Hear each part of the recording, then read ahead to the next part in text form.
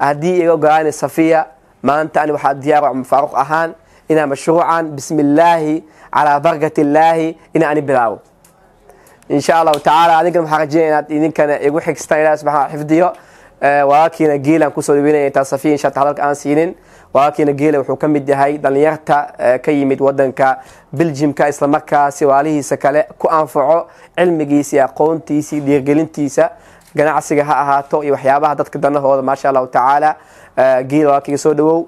Ilaah ku barkeeya farxada inootaa maanta in wejiga aan aragno. Wiil soomaaliyeed dadaalaya waddamada qurbaha ku cusub laakiin dadaalkiisa iyo awoodiisa aysan dhihin waa cusbaa wax allaha ma jiro. Adiga adigaa tahay.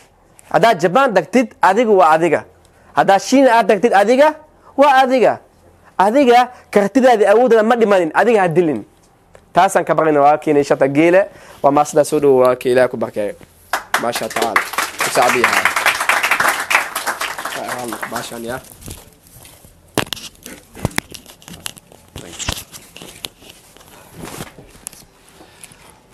Asalaamu calaykum waraxmatullahi barakaatu dhammaantiin aad baa idin salaamaya marka hore waxaan u mahad celinayaa ilaahay isku adkeena xafladan quruxda badan. Marka labaad waxaan u mahad celinayaa dhalinyarada sida waxa weye tyleska u soo qabanqaabiyey eventiga waxa weye quruxda badan. Waxaan umalanaya kelmadaha meesha ka furan aad bay u kooban yihiin waa hambalyo un inaan waxa weye aan u hambaliyeyno walaashan waxa weeye safiya safi inspiration. Waxaan kaloo waxa dhalinyarada la dardaamayaa. Way adagtahay waxa weeye qof markuu business bilaabayo waxaan jeclaan lahaa waxa weye in la support gareeyo. Waxa weye anu mar walba waxaan jeclahay businesska soomaalida waxa weeye in support waxa weye loo sameeyo ka ani ahaan maadaama waxa weye shirkadda aan leeyahay waxa weye branding company oo website development arrimahaas waxaan haddiise website lahayn ballan qaadayna insha allah inaan website qurux badan surfacekooda si bilaash aan ugu soo bandhigi doono. Intaa kadib nin macalina iska ahay waxaan jeclaa saddex qodoba yaryar in waxa weeye aan insha allah idinla wadaago. Sahayda guushaala waxaynaan aan ka sheekeeya waxa laga yaaba qof walba de inuu jecel yahay inuu guulaysto wadadeedina waxa weeye uu marayo bini aadamka o dhan baa u samaysay inay guulaystaan oo qof kasta wuxuu jecel yahay goolskiis inuu waxa weeye u xaqiijiyo. Saddex qodob oo yaryar baa marka insha allah ku soo koobaya.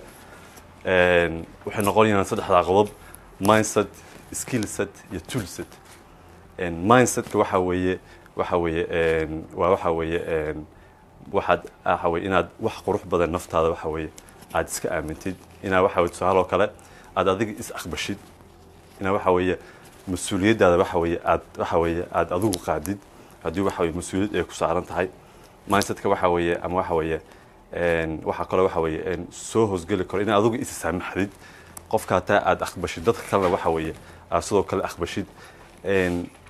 Macnaha positive iyo negative weeye laakiin maskaxda waxay dhahaan dadka psychologyga bartay wixii laga dhacdhiciyo bay noqotay. Haddii dhani waa guulaysanaya waxa weeye positive aa maskaxaada aada u sheegtay wax togan iyo wax taban baa loo qaybiyaa.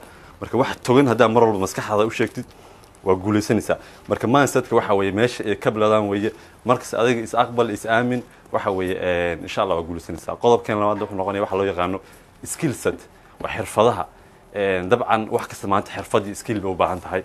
Hadafkaaga waxa kuu dhaweynayo inaad mar walba waxa weeye aad ka shaqayso dabcan waa wax baranayo jaamacada aadaya haddana dunida maanta skill bay iska noqoto. Tusaale ay aniga malaysiaan ka imid four years halkaasaan jaamacada uga soo baxay.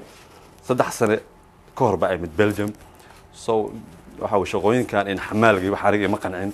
Marka hore de maskaxdaas lahaa waddanka iskala hayad u shaqeeya ama siyaasadda gal wax noocaas. Laakiin family visa ku imid hal mar waxa weye dhaarashkaygu isbedelay.